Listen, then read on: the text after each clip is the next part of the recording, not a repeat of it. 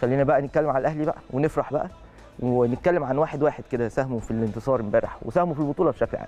وبالمناسبة يبقى يعني ظلم قوي لو إحنا اقتصرنا فوز امبارح على لعيب بعينه أو حتى آه، لاعبين ثلاثة لأن المجهود دايما بيبقى مجهود مشوار كامل وبطولة كاملة ومباريات كتير. من خلالها بتقدر توصل لهدفك وتحصد اللقب المنتظر. ده ال- الأمر ال- الأهم يعني. آه، لعيبة النادي الأهلي ممكن امبارح البعض وجهة نظر عند بعض المحللين ومن خلال رؤيتنا المباراة طبعا اللي عندنا الأهلي ممكن يبقى أحسن من كده بكتير طبعا.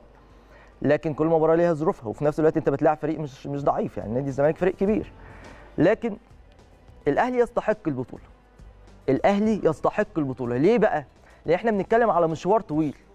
الأهلي فعلا كان الأحق لما هتيجي تبص للأرقام هتلاقي على مدار البطولة دي كلها الأهلي ما خسرش غير مباراة واحدة بظلم تحكيمي واضح جدا. لما اطرد أيمن أشرف في الدقيقة 12 أو 13 على ما أتذكر في مباراة النجم الساحلي هناك في تونس في ملعب آه، رادس. خسرنا 1-0 في مستهل مشوار دور المجموعات.